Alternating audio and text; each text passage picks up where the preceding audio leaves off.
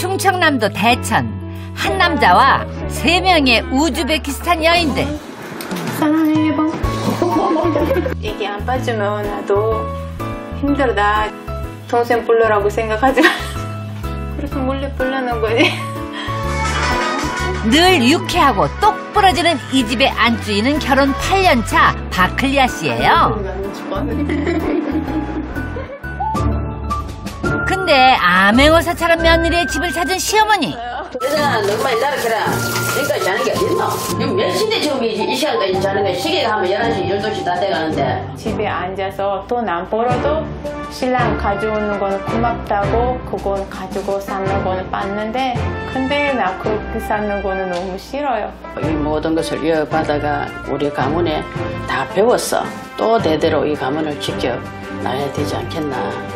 내가 애기 낳고 집 살림하고 그렇게 안 살 것이다. 응, 아무거나 네 맘대로 일방적으로 내가 뭐든지 하고 싶은 대로 내 맘대로 하겠다.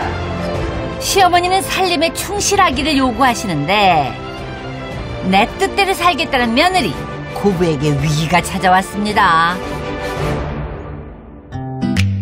1년 내내 관광객이 찾는 바다 충청남도 대천 해수욕장이에요. 우즈베키스탄에서 온 결혼 8년차 카비로바 바클리아 씨의 일터가 조개구이집인데요.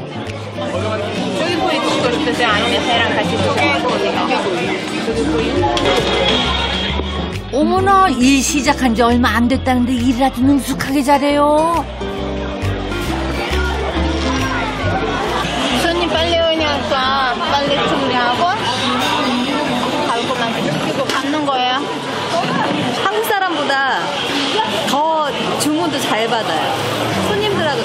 잘하고 오히려 더 진짜 빠릿빠릿하고 한국 사람보다 더 잘하는 것 같아요. 장사가 새벽 장사인데도 이제 애를 이렇게 돌보면서도 일도 병행하는 게 계속 그거를 근데 조금 빈틈도 없어요. 육아와 살림의 일까지 진짜 대단하다. 아이가 있어서 주말에만 일을 한다는데요. 어, 네가 딸이야? 여덟 살 혜정이래요. 아니, 근데 이분은 누구세요? 우즈베키스탄 며느리가 또 있나?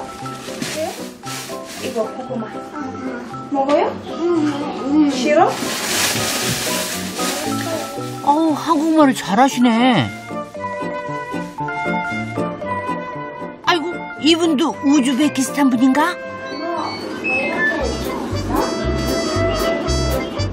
아, 리아 씨 동생들이구나.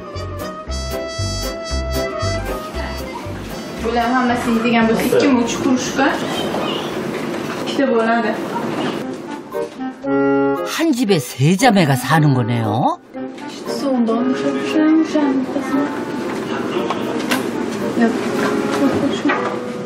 덩치가 제일 작아도 리아 씨가 제일 큰 언니예요.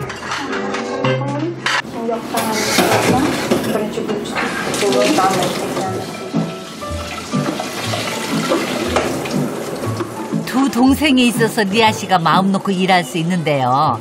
시부모님하고 함께 살 때는 꿈도 꾸지 못했던 일입니다. 며느리가 살림만 잘하기를 원했던 시어머니는 단속이 심하셨대요. 6개월 정도 계속 따라다녔어요. 매일매일. 신랑은 회사 다니니까 남자들은 없고 여자들끼리만 있으니까 공부 시간이 있으면 공부 시간에 맞춰서 오고 준비 다 됐어. 가자 그냥 학교.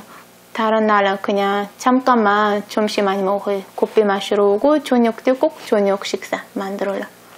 그래서 둘이 같이 그렇게 계속 지냈어요. 왜냐면 신랑 같이 대화가 안 되니까 어머니랑 같이 대화가 안 되니까 같이 있는 거 조금 불편했어 이렇게 여타구에 왔으니까 낯설잖아, 얘. 낯설어서. 그래, 공부하러 다니면서 내가 들고 다녔지. 또 거기 가면 다문화 어, 젊은 사람들이 많이 있어서 뭐 탈선은 아니겠지만 또 그런 마음도 들고 이래가지고 좀 따라다녔어요. 원래 리아 씨가 살던 곳은 경상북도 경산입니다. 여기라 가요, 백산동. 시어머니 집에서 엎어지면 코 닿을 거리. 고부는요, 밤만 딴 집에서 살 뿐 거의 함께 생활을 하다시피 했대요. 외국 사람이 부인이 되어 왔으니까 음식이 틀리긴 해.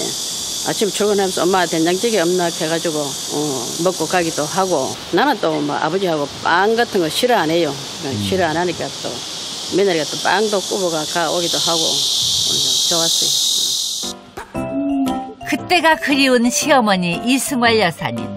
그러다가 어느 날 갑자기 며느리가 이사 가니까 노부부의 집안이 적막해졌죠. 밥을 많이 먹어야 하루 돼. 제일 며느리는요 이사 후에 왕래가 뜸해졌대요. 뭐 이웃집에서 어, 자녀들이 쭉 와가지고 이래 뭐 아버지 엄마 자주 뵙고 이래 가고 뭐 이- 인사하고 하는 거 보면은 우리도 좀 그런 게 좀 아쉬운 점이 있죠. 왜? 나도 인간이니까. 나도 내 자식이 있으니까. 곁에 살면 얼굴도 자주 보고 음식도 나눠 먹고 그럴 텐데 섭섭하고 아쉬운 마음이 드는 거죠. 나는 아직까지 여러 가지 좀 배- 배우고 어머님 곁에 바로 여기는 아니더라도 조금 떨어져가 이사를 가지 그 먼데까지 이사를 못 갑니다. 이런 말도 할 수 있었는데 그 당시에 니아가 이사 갈 때는 얼마나 먼지 길이 얼마나 얼마나 되는지 뭐 몇 킬로 되는지 한국에 모르잖아요. 예. 많이 섭섭했지.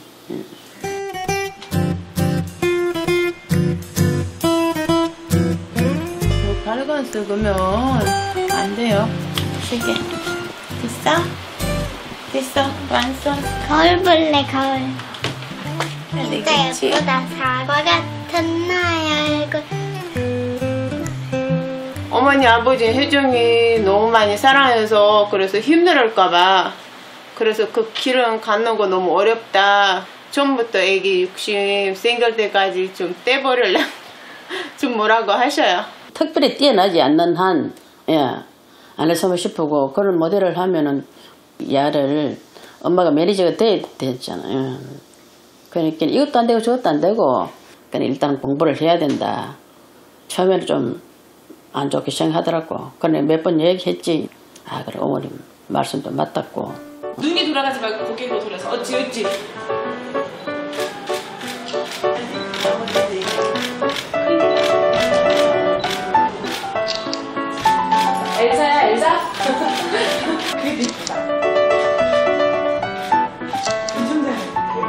분명히 허락 떨어지지 않으니까 안 돼, 안 돼. 자기 길만 잘 살라고 하니까 한번 이야기하면 허락 떨어지지 않으면 다시 이야기할 필요가 없어요. 어차피. 세 자매가 총 출동해서 밥을 하는 이유는요. 주말 부부인 리아 씨의 남편이 돌아오는 날이기 때문에 그렇대요. 아이고 보고 싶은 남편 왔다.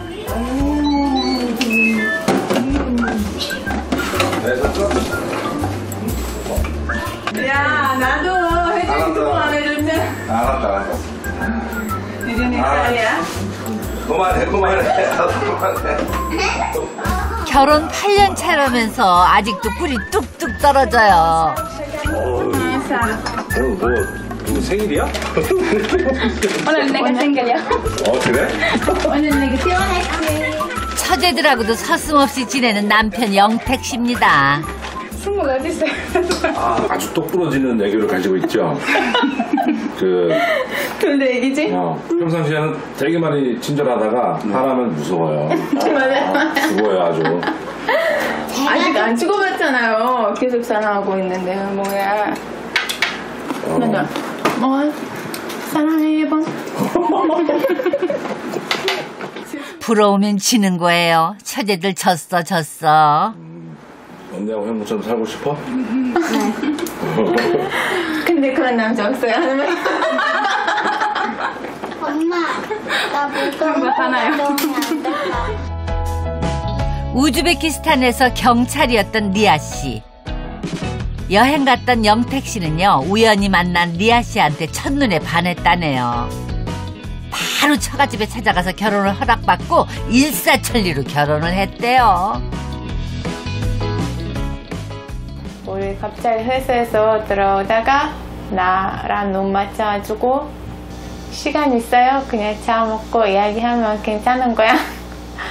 만나고 나오고 커피를 마시니까 미안한 마음 들고 알았어 하고 나도 농담으로 결혼해줄 거야 마음에 들었다고 하고 이렇게 했는데 농담은 진담으로 돼버려가지고 그렇게 돼.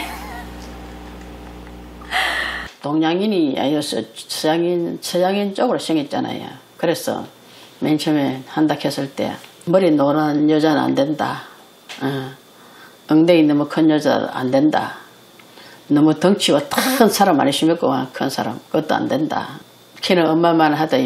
냉저 보니 엄마보다 작더만. 그런데 음, 또 하는 일이 딱 부러지게 질서 있게 잘하고 음, 결혼 잘했다. 아, 잘했다. 예, 예. 그 생각이 들어요.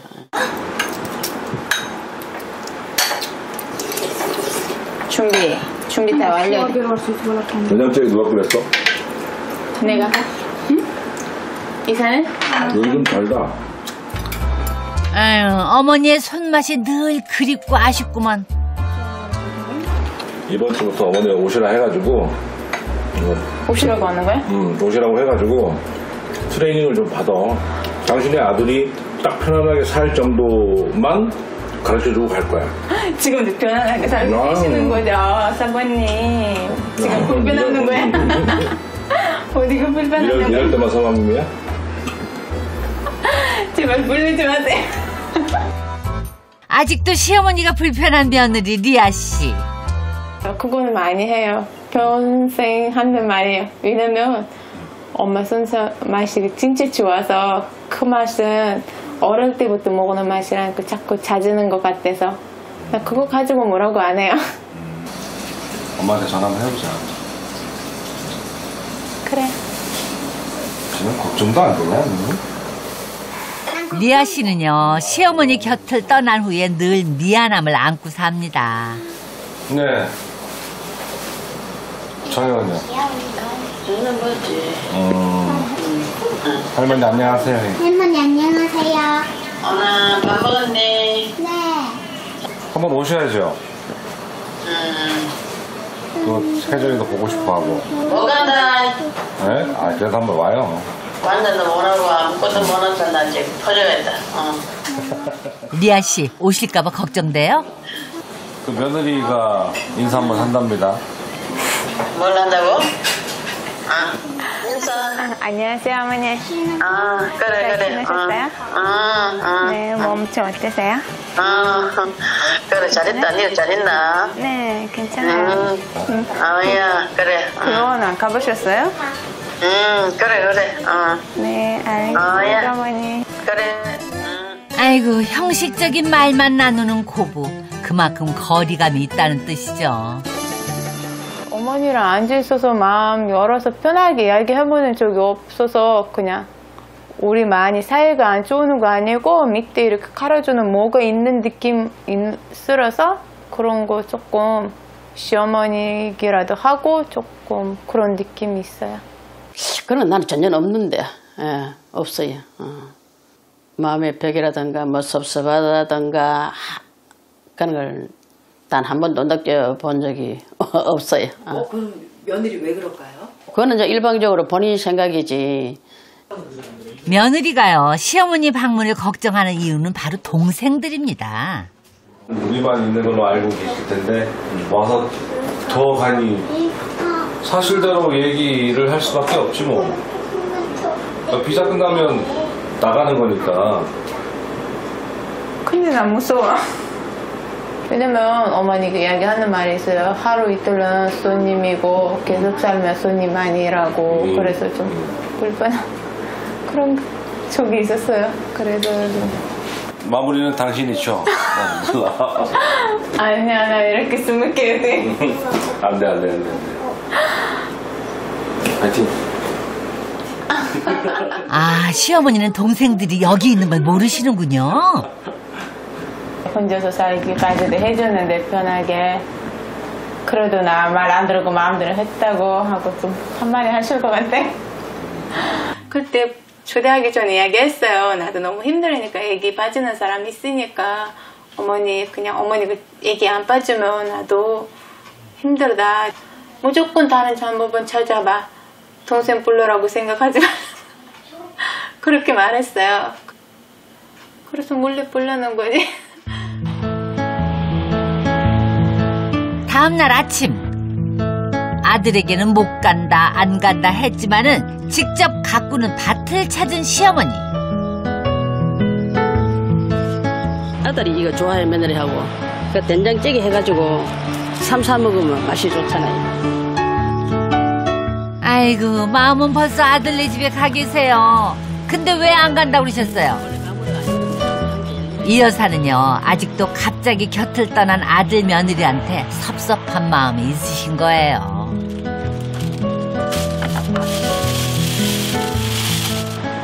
내가 뭐 인고생 해가면서 뭐 아들 먹는 거 며느리 먹는 거 내가 챙기게 됐나 싶은데 또 어떨 때 생각하면 아들은 영원한 짝사랑이기 때문에 그 부모 마음을 천분의 일이나마 알아줄란지 잘 모르겠어요. 어. 아들네 집을 방문하기로 한 이상 이 여사는 준비할 게 아주 많습니다. 아들 며느리가 좋아하는 반찬을 준비하는 건데요. 아유 세상에 바쁘다 바빠. 엉덩이 붙일 새가 없으시겠어요. 근데요 며느리는 그런 시어머니의 마음을 알까요?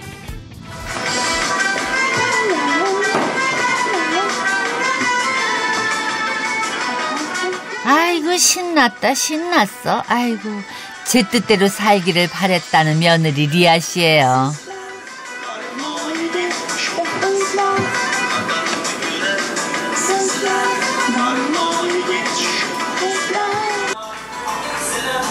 친정 동생들까지 와 있으니까 며느리 세상이죠.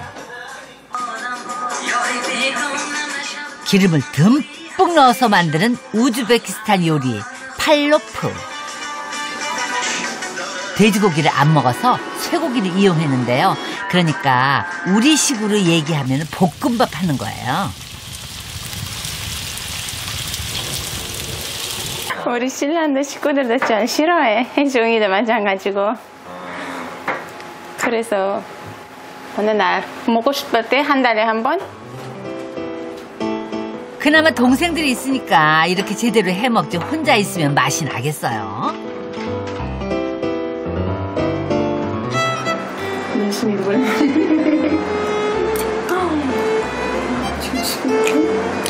둘이 뭐마다 날 만네. 한 5대를 가고 싶었는데.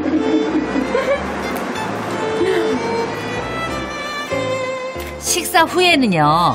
우즈베키스탄식의 기도도 빠지지 않습니다. 감사의 기도하는 거예요. 다 먹었습니다.